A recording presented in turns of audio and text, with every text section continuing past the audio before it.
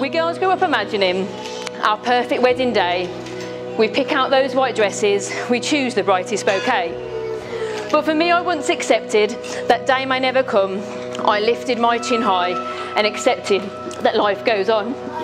Because the world tells you you'll meet Prince Charming, and I can assure you it's quite alarming. When life hits you like a ton of bricks, I met my princess, not my prince.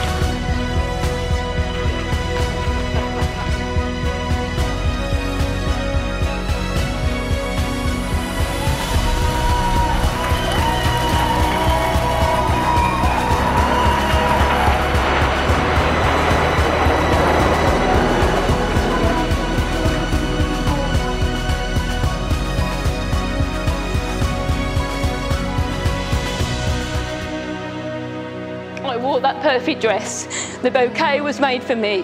The dreams I had when I was younger are now a reality. But no, wedding is without a soulmate, and I am the lucky one. Some might say marriage is your happy ever after, but I had mine from day one.